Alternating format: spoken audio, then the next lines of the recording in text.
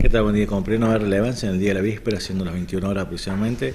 en la localidad de Zaira, se procede el control de una motocicleta en lo que es la ruta número 12, intersección con la 12, de una motocicleta, siendo esta una Honda Storm de color azul, conducida por un masculino de 29 años de edad, domiciliado en calle Belgrano al 700 aproximadamente, en la localidad de Buquet,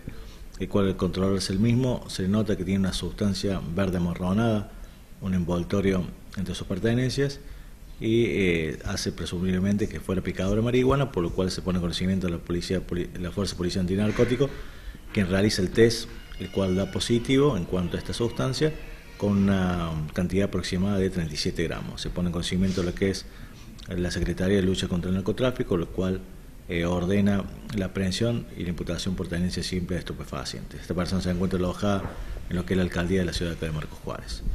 Como otra nueva relevancia, que tenemos Camino al Dado, el día de la, de la víspera, siendo aproximadamente 18 horas, hizo presente en la dependencia policial un masculino de 70 años de edad,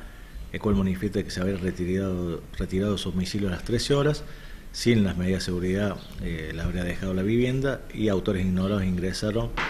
y les trajeron lo que es un maletín, el cual contenía en su interior una chequera de un banco en particular y la suma aproximada de 30 mil pesos por lo cual se entrega el procedimiento de rigor y se da participación a la Brigada de Investigaciones de esa localidad a fin de determinar eh, datos más específicos sobre este hecho.